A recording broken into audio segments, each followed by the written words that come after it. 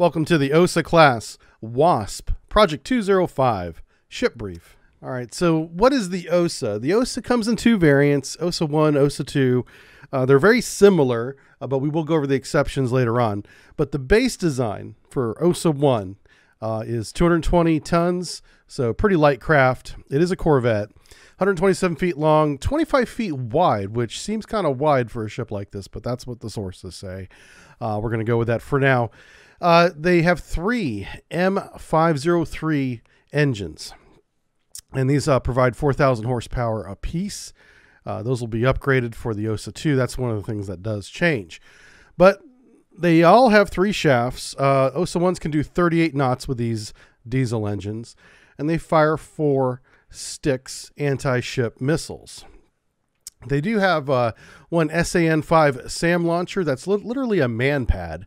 Think of a Stinger missile uh, for the NATO armies, but this is the Russian version of it. So they can stick a, a comrade topside with a shoulder launched, you know, surface to air missile, very short range, and that's their air defense. uh, but they also had, they do have two CIWS in the earlier one. It's the AK 230, 30 millimeters. Uh, that's the two barrel uh, self defense one and they have a crew of 28 people and 1800 nautical mile range if they limit their speed to 18 knots and enough food and water on board for five days. All right so construction of these. So this replaced an old uh, cruise or corvette um, called the komar class. We will not be going into the komar class. Just know that this supersedes it. This replaces it. And these are all constructed in vladivostok russia. So it's on the pacific coast of russia and uh, they build over 400 of these things there. Pretty incredible. So the hull, where you see the 725 painted, that's all steel. But everything above that, the superstructure where the crew sits and the bridge there, that's all a lightweight alloy. Uh, they use, like I said, the M503 radial diesel engines. Radial diesels are very high RPM and can have high power uh, in a compact design. So that's why they went with that. And there you go. Here's a picture of Vladivostok's shipyard. There are lots of shipyards in this area, but this is the, the primary one. And they do a lot of work here. This one pumped out over 400 of the ships we're talking about today. All right, so here's the SN2 Styx missile. Uh, extremely old school, uh, 1950s design, 60s, you know, employment uh, and you know very easy to to trick with electronic warfare, as we will see coming up. But here you go. Here you can see a technician working on what looks to be like the guidance system behind the radar dish there in the nose. And uh, this is a very interesting picture with it taken apart like this. It does have about a 20 mile range, and it is subsonic. They're shooting four of these for each of our ships today. Here's the SAN 5 Strela surface to air missile literally a guy with a shoulder mounted uh, you know man pad we call him. This is has an ir seeker. It can only be shot at uh, regressing or egressing rather uh, aircraft. In other words it has to have a stern or aft aspect. It has to be looking at the engine output uh, in order for it to get a good lock. And then it quickly catches up to the uh, airplane before it gets outside 3.4 kilometers. It does have an impact fuse and a high explosive warhead Here's that AK-230 I was telling you about. This is the predecessor to the 630. They had these first. It's just basically two barrels ripping out, you know, a thousand rounds, or it's a thousand rounds total. It's 500 rounds per barrel per minute. Uh, each one carries 1,000 rounds and can shoot down uh, an air target out to four kilometers and ballistic max range is six kilometers. So this can be used for both uh, anti-air defense or you know a anti-ship weapon. Here's the OSA 2. This is the uh, big brother of it. This is the one that they uh, improved, and basically they just put better engines on it and added a quad launcher for the SAN 5.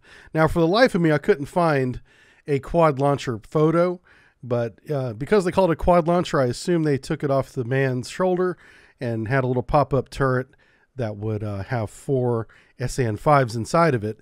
But like I said, could not find a photo of it extended. So it might be that they just have four SAN 5 shoulder launch uh, SAMs, you know, stowed away somewhere. Um, they're not very clear on that, but they do have a quad launcher now.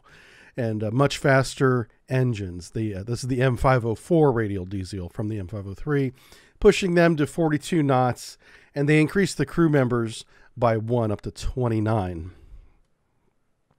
And these were exported everywhere. Um, both the OSA 1 and the OSA 2 all over the world. And Wikipedia has a very comprehensive list of all these nations. I'll make this photo available to the Patreons in the photo section for this uh, ship brief. I'm not going to sit here and read it to you, but as you can see, they exported all over the place from, you know, Europe to Asia, you name it. And this is just the OSA 1. This is the OSA 2. Just as many exports, just as many countries very extensively used around the world. And this is one of the few ships we get to talk about that actually saw combat during the Cold War. So we're going to talk about a couple of the battles that they had. Uh, this one is the Battle of Latakia. This is October 7th, 1973, in the Mediterranean near Syria. So this is part of that uh, Yom Kippur War.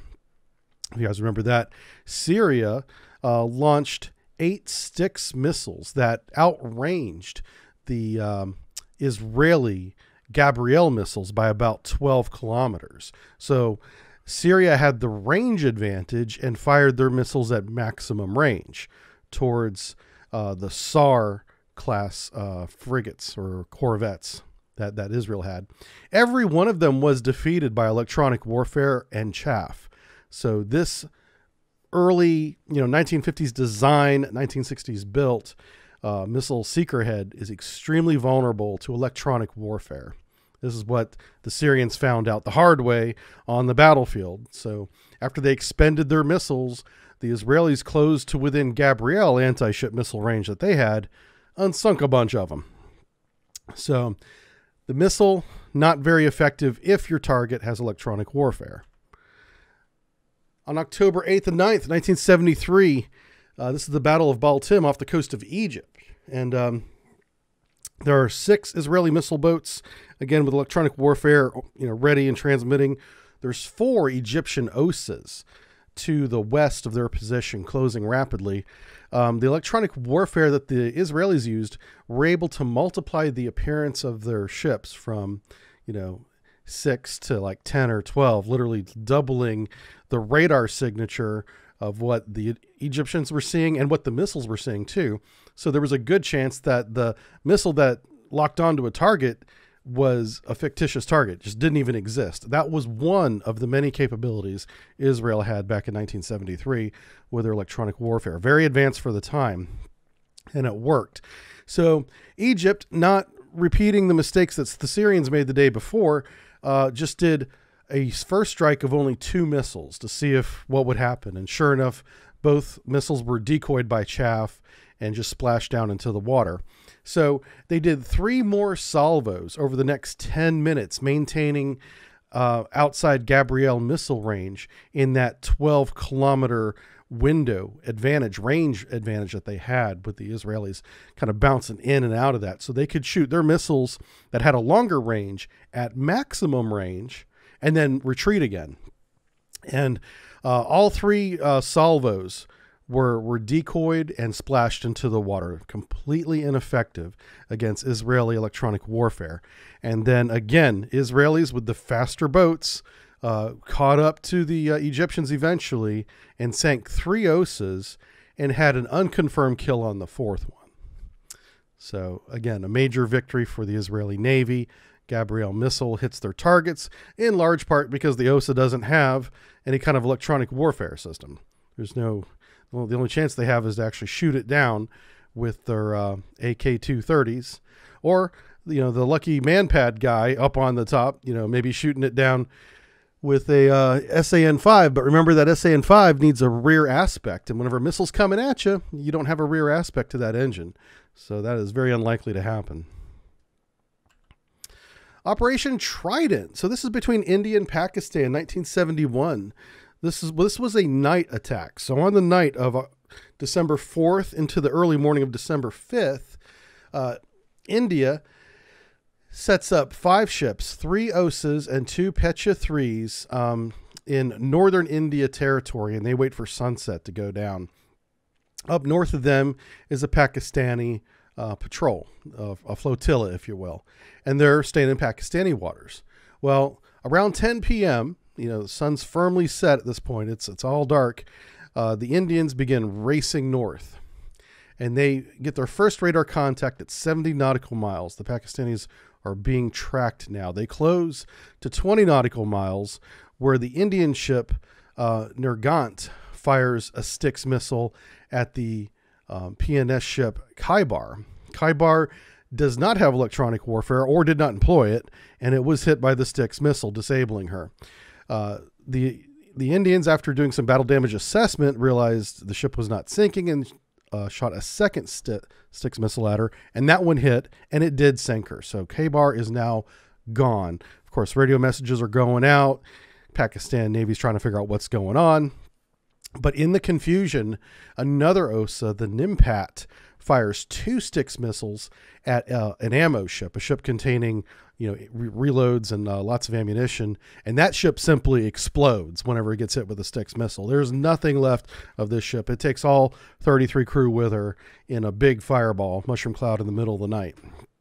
And then finally, uh, there's a minesweeper left now undefended uh, from the military escort that it once had, uh, presumably trying to disengage, but it was uh, sank with a Styx missile. So this was a very successful use of the OSAs and the Styx missiles in a surprise attack at night against ships that did not have electronic warfare or chaff was not effectively employed, um, presumably because they didn't realize they were under attack by the missile. They probably saw the ship's radars, we assume, uh, but maybe they didn't have the uh, technology to recognize that an incoming anti ship cruise missile was on the way and therefore launched chaff.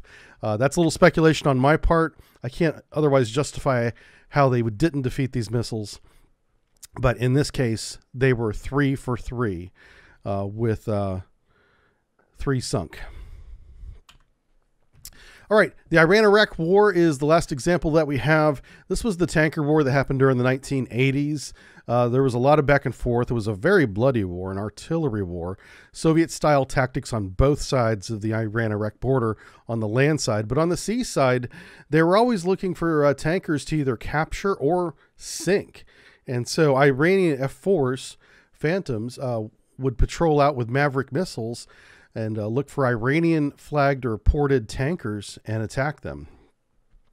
Well, this on this day, on the 29th of November 2000, or 1980, 1980 rather, uh, they found an OSA. And the OSA was destroyed with a Maverick missile with absolutely no counterfire to the F4. It was simply a matter of getting to within, you know, five or six miles overhead and shooting a Maverick missile down on top of it, and the OSA was hit. So the OSA does not have very good point defense. It has no electronic warfare. It is a one shot Willie in terms of having only four missiles. It does have high speed, so it can race in, shoot, and get out. So it's a great surprise tactic ship. And so, if I had to, you know, put together my final thoughts on this, I would say this is a very successful export ship. It's a very good offensive platform for the 1960s. Um, but once they got into the 70s and the age of, uh, you know, electronic warfare augmenting missile warfare, um, this this the S uh, the SSN2 Styx missile was quickly outdated. They they needed a new missile for it. So, um, another thing about this uh, ship is that it was very easy to build and cheap to sell. So you know, smaller countries that didn't need a blue water navy but did need a coastal defense, uh, like you know Romania, Bulgaria, you know, just all the the smaller countries that have smaller coastlines in comparison to like the United States, right? As a very large coastline. If they just need basically a border patrol to enforce, you know, their their sea borders, this is a great option for them. And in the 1960s, it was very effective, but it quickly got outdated uh, by technology advancements in the 70s and going forward from that. And like I said before, it was sold everywhere. Uh, everywhere from Africa to Europe to Asia bought these ships. They're all over the place. Uh, some of these are still on ship rosters. However, it's highly unlikely that they're seaworthy. Um, I know uh, countries like North Korea are notorious for just tying a ship or submarine to the pier uh, with no intention of ever sailing it again, but keeping it on the roster so it bolsters the numbers of their navy, you know. And that's probably the case with any of these remaining ones. All right, well, that's it for the OSA. Another quick one. This is